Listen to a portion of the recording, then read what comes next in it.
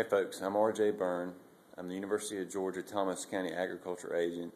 And today I'm going to talk to you, or I got with me Dr. Stanley Culpepper, and we're going to talk about a game plan for our 2011 crop season for cotton and managing pigweed. Dr. Culpepper. Thank you. Uh, right now it's January. In January and February, all of our growers need to sit down and start developing a management program to manage Palmer amaranth. Waiting until May, June, or July, basically, you probably will not succeed in your management program. So the first step is to start developing a program now. Now that program has several important aspects. First of all, when we go to planting, we have to have the field free of Palmer amaranth.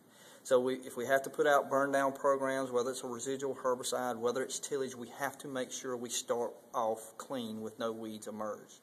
Then it's absolutely essential that we include residual herbicides applied throughout the crop.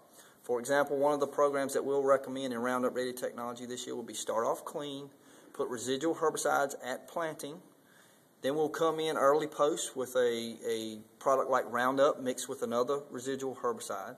Then we'll come in mid-post, again with, with Roundup and a residual herbicide, and then we'll lay by the crop with a conventional chemistry such as Diuron plus MSMA.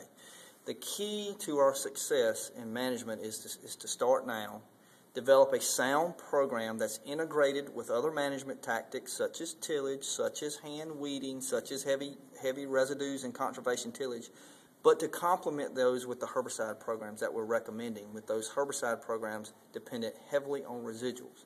Now, I also want to point out we're traditionally Roundup Ready cotton, that's what we grow. But the Ignite based programs and the use of an Ignite herbicide applied over the top of cotton that is tolerant or resistant to Ignite is also a very, very good option. So, again, this is a very complex and complicated system. In 2010, we spent $60 per acre on herbicides. We spent another $25 per acre hand weeding. So, we're spending a tremendous amount of money.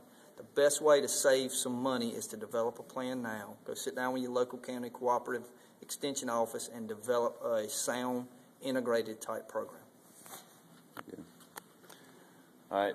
And if you need some more information on managing pigweed and cotton this year, check out the links below. You can see some of the programs developed by Dr. Culpepper, and this will help you get pigweed in a manageable level this year in 2011. Thanks.